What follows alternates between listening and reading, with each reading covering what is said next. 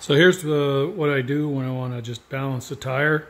I've got my two jack stands. I've got a, an aluminum rod that fits through the through the center.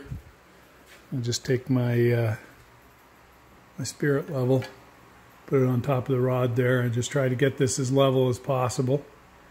And uh, on both sides, I get the jack stands as close as I can. Still allows the tire to rotate.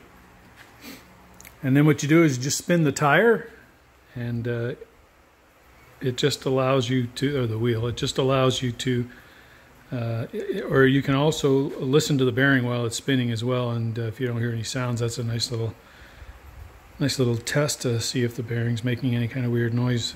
but uh, what'll end up happening is the, the tire will spin and then it'll kind of rotate back and it will find find its heavy spot, which will be at the at the bottom.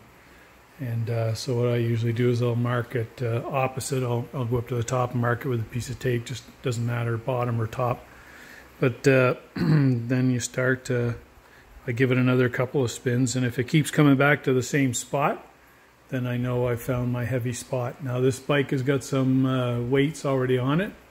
So I can uh, remove some weights and we're pretty close here actually. I think if I removed one weight, in this case what I would want to see is I would want to see the wheel come like this or something like this where the, the stem and the weights are kind of in line with each other.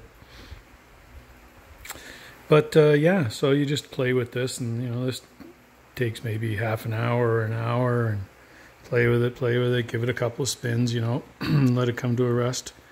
And then uh, add or subtract weights as, uh, as required. And, and that's it. That's your home balancing.